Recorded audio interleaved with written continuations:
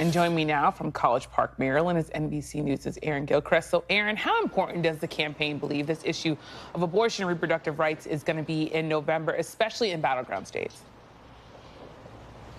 Well, I think President Biden has, has said and shown that this is a, an issue that is critically important to him. And so the campaign has really tried to elevate this in the conversations that it's been having on different issues around the country. And I think what we have seen today is by way of Vice President Harris, we saw uh, the First Lady out over the weekend talking about reproductive health, talking about uh, reproductive freedom. And, and this is something that the campaign believes is, is a message that they can, that will resonate with voters who support them and potentially with voters who maybe still on the fence. And so what we saw today with Vice President Harris is something that I think we're going to continue to see in the weeks and months to come uh, as she talks about, uh, as she did today, uh, prosecuting the case against former President Trump, laying in his lap the responsibility for the overturning of Roe v. Wade with the Dobbs decision two years ago, saying that he appointed the three justices who ultimately uh, were responsible for overturning Roe v. Wade, saying that uh, this was a premeditated action on his part as she sort of presented a prosecutor's case here in Maryland today, also adding that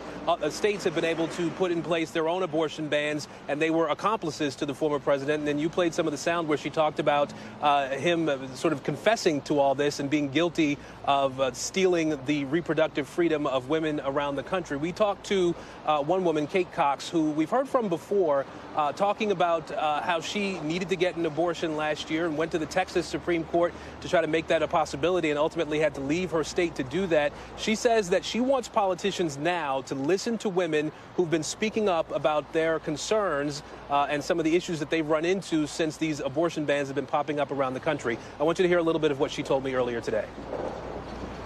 Abortion is health care. It's, it's heartbreaking, sometimes wanted, prayed for pregnancies end in abortion. And, and my hope to the world is that everyone who wants to bring home a baby, everyone who dreams of expanding their family gets to do that. And abortion care, IVF, birth control are all part of that journey.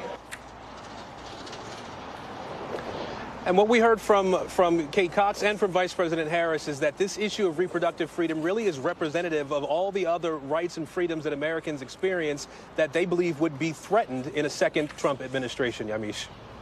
Well, Aaron, thank you so much for that reporting. Thanks for watching. Stay updated about breaking news and top stories on the NBC News app or follow us on social media.